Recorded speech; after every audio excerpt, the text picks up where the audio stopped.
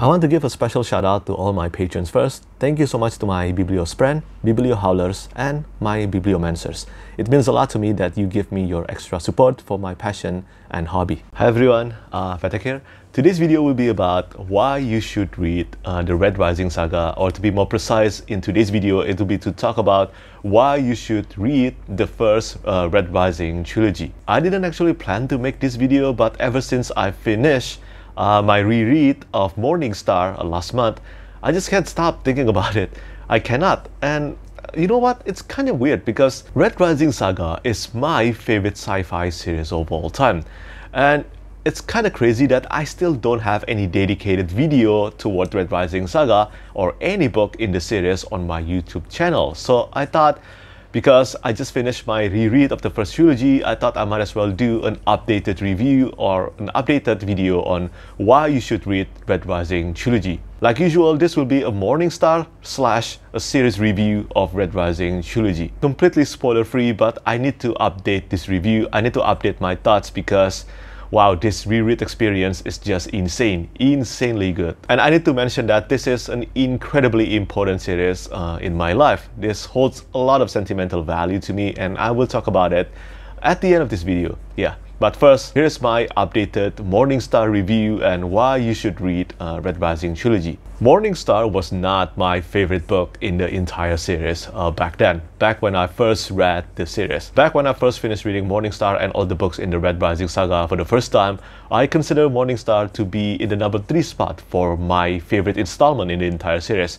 But now, it will have to change because Morningstar is an absolutely prime conclusion to the first trilogy in Red Rising Saga, my favorite sci-fi series of all time. I don't usually make an updated review on reread. With the exception of grammatical fixes, I tend to leave my first review on a specific book or series untouched. This way, on reread, I can look back and observe my past thoughts and reactions on the first time I read that book. And then I can compare them, but I cannot do that for this book or series. It would be an injustice. Morningstar and the first Red Rising trilogy deserves an exception. I first read Morningstar or the entirety of the first trilogy in Red Rising Saga in January 2017 within 9 days. Yes, it was a very quick and unstoppable reading experience. I just couldn't put it down. That was more than 6 years ago. Sleeping hours were sacrificed back then as it was on my second read and it was all bloody damn worth it. On my first dive, I was adamant about Golden Son being the reigning champion of the entire series. And this notion lives after I even read uh, Iron Gold and Dark Age, the fourth and the fifth volume in Red Rising Saga. But there is a change in the equation now. On the second dive into the story of Darrow's and the individuals surrounding him, I am pleasantly surprised to say Morningstar is now my favorite volume in the entire Red Rising Saga series so far up to Dark Age. If you love sci-fi or you love space opera, please read Red Rising Saga by Pierce Brown. Red Rising was a dystopian sci-fi novel, and Golden Son is when the series started to become a space opera series. The plot in Morning Star begins a year after the traumatizing end of Golden Son. Brown weaves an intensely unpredictable storyline through his empathizing characters, devastating betrayals, deadly political machinations, and space opera bloodbath throughout the trilogy. However, this does not mean the narrative was all battles and actions like in Golden Son. There were solemn and slower moments to let the events and hardships the characters went through settle in. I remember the first time I read Morningstar, I was slightly disappointed with the relatively slower pacing of the novel. I mentioned I preferred the non-stop exhilaration of Golden Son. I will have to retract the statement. Binge reading the first three books in Red Rising Saga might have led me to feel impatient to turn the page faster because I wanted to know what happened next, and I cannot deny I failed to appreciate the deep and mature themes of the series during my younger state six years ago. And now, I have absorbed these emotional and resonating themes like a sponge on my second read. I thought being a man was having control, being the master and commander of your own destiny. How could any boy know that freedom is lost the moment you become a man? Things start to come to press in, constricting slowly, inevitably creating a cage of inconvenience and duties and deadlines and failed plans and lost friends. We are humans and we are, in a way or on some level, broken with rage, sorrow, pain, and regret. The first trilogy in the Red Rising saga is supplied with war, bloodshed, sorrow, and loss. But it never plunged into becoming a grim-dark science fiction series. Pierce Brown made it clear that some of the most integral main themes of Red Rising trilogy are to gain the determination to fight what you cannot control to overcome oppression but to never lose sight of the most precious aspects in your life legacy, loyalty, redemption, family, and love. These are not options, these are necessities. A driving force and strength to replenish the empty space in our hearts. Broken bonds can be mended, mistakes can be redeemed. There isn't a better way to talk about this subject rather than to let uh, Pierce Brown say it himself. Whatever you are told, being an adult doesn't mean you have control. No matter the power you have, the money you make, the age you become, we all feel a little bit at the mercy of something else. The government, banks, chance, illness, our bosses, etc. That's what Darrow is dealing with in Red Rising. The fact that any control he thinks he has over his own life is a mirage, but he does not despair. Instead, he decides to break the chains and live for more. He set out to create his own future. The fact is, we do not have complete control over our lives. Never have, never will, that's okay. The point is rather to take control over the parts of our life that we can and live those parts in precisely the way we want. That is living for more and that is what Darrow is fighting for. And personally speaking, this is why I feel like I can connect and relate strongly with Darrow's story and struggle in the trilogy. Another theme that has been there since the first book is friendship and its importance is made extravagantly evident in Morning Star. It is the core of the series. Darrow was 16 years old at the beginning of Red Rising, and he is now 23 years old in Morning Star. A lot has happened since the Golds came to bring him war, and Darrow and many characters in the series have received substantial character development and went through life-changing events. Darrow, Sevro, and Ragnar remain my favorite characters in the series, especially Darrow and Sevro. I found their unbending friendship an utter delight to read.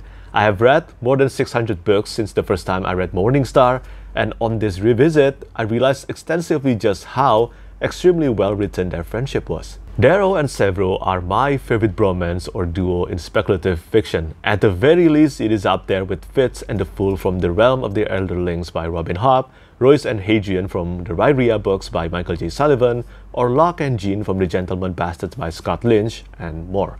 But it is that good. And my vast investment in these characters, plus the addition of Brown's merciless plotting allows me to seamlessly enter the pages of the novels and experience the terror of adversity the characters endured. Readers' emotions and investment are Brown's toys, and playing around with them is Brown's spectacular expertise. For the superbly written protagonist and antagonist, their journey finds closure here. Some will live, some will die, and that, in my opinion, is a good thing to have in stories. No matter how much I love a character, I need to feel a sense of urgency in what they are fighting for. I need to know they're not protected by the author's immortality barrier as many stories did. I need to feel that what they're fighting for could truly cost their lives and their actions will always have repercussions, especially in a series like Red Rising Saga that deals with war, vengeance, and destruction, resulting in thousands of casualties. Not all science fiction and fantasy books need to have authors killing off their characters, but in the hundreds of books that I have read since the first time I finished Red Rising Trilogy, it is shocking how few, how relatively few authors are willing to kill off their characters. It's war, one of the most horrific acts of violence. The kindness and courage of a character shouldn't mean they're safe from death and damage. If a favorite character of mine dies in a book or stories and then I feel sad or angry about it, then that's a good thing. It means the author has succeeded in making me emotionally invested in the characters. And if this succeeds, it also launched the story toward an unpredictable path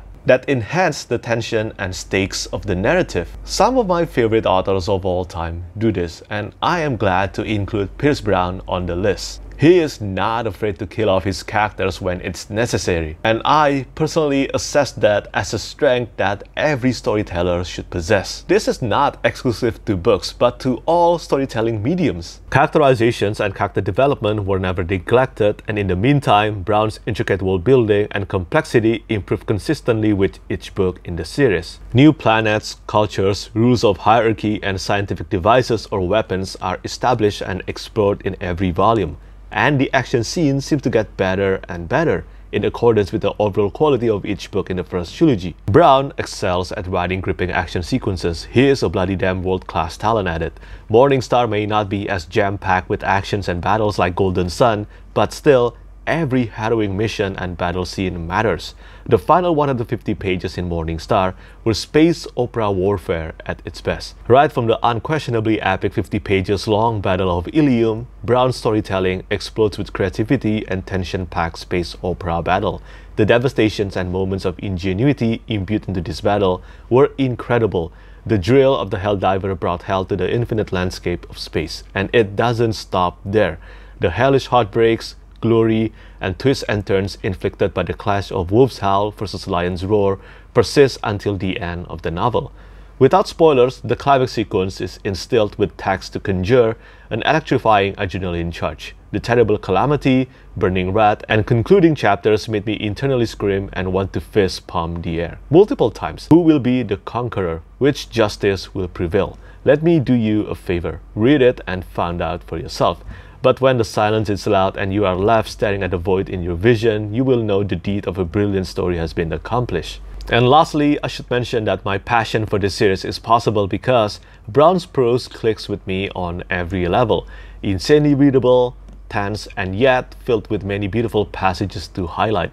Action scenes were breathtaking, and moments of magnificence were written to last.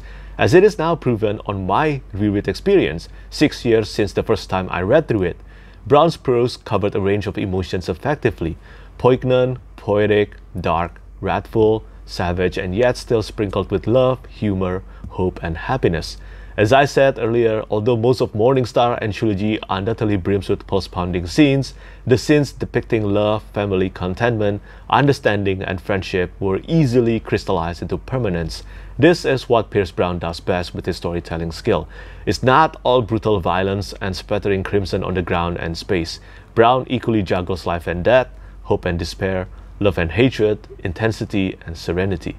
Impeccable, vivid, and relatable prose written with an extraordinarily sharp edge that cuts at the reader's heart. It is safe to express Red Rising Saga fully satisfied my desire for a mind-blowing space opera series when I read it for the first time and it continues to do so on my reread. This is why I try to reread some of my favorite books frequently. The results can be irreplaceably rewarding. I love Morningstar on my first read, but on this second read, I feel resolute in declaring Morningstar as an astonishing space opera magnificence. Incredibly climatic, fulfilling, and loaded with relentlessly thrilling adrenaline rush and immense emotional impact. It is said that light shines brightest in the darkness, and I tell you to allow the heart and light amidst the roller coaster of mayhem in the Red Rising saga bring you that light. Containing everything I love in stories, I think Morningstar, along with Dark Forest by Cixin Liu, is currently the best sci-fi novels that I have ever read, with the possibility for it to be topped by Iron Gold or Dark Age on reread, and I will begin my reread of Iron Gold uh, very soon. Or maybe the upcoming Lightbringer or Red God will actually top Morningstar. I guess we will find out. And yes, if you are here for the first time watching this without reading any books in the Red Rising saga,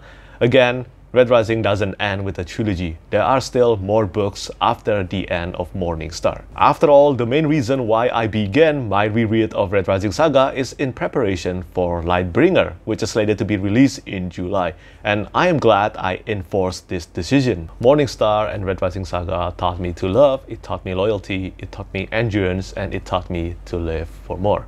And as I said earlier in the beginning of this video, without this series, I wouldn't have met some of my closest friends who became my co-bloggers in Novel Notions. We are constantly talking with each other for like uh, seven years now, or, or, six years now. But yeah, we became close because we did a buddy read of Red Rising Saga. The first trilogy, back then Iron Gold wasn't released yet. And without the first Red Rising trilogy and Iron Gold, I probably wouldn't have uh, gotten married yet. Because without this series, I wouldn't have any topic to talk about with my wife because we have very different genres of books. The only similarities of genres of books that we actually read together is sci-fi and maybe some uh, fantasy books. But yeah, my point stands, Red Rising Saga holds a lot of sentimental value uh, for me on top of it being the best sci-fi series that I have ever read so far. I have no idea whether there will be a sci-fi series to top Red Rising Saga for me or not in the future. I will find out for sure because there are still many sci-fi series that I want to read. But yeah, it will be hard to beat and I am confident in saying that Red Rising Saga or at least the first trilogy because we don't know what will happen in Lightbringer and Red God. But I'm confident as well that they will be amazing. But yeah, I think Red Rising Trilogy or Red Rising Saga will become a classic science fiction series in the future, per Aspera ad Astra Howlers. So yeah, that's pretty much it. That's my updated thoughts on Morning Star and the first Red Rising Trilogy. As I said, I will begin my reread of Iron Gold soon, but I think this just goes to show just how beneficial and powerful a reread can be. If you have read Red Rising Saga or the first Red Rising trilogy, do let me know your thoughts on it. Do you love them? Do you consider it uh, your favorite sci-fi series of all time just like I do? And also, are you waiting for the release of Lightbringer and Red God? As always, thank you so much for watching and thank you for your support. Bye bye. Lastly, I want to say thank you so much once again to all my patrons who keep on supporting me.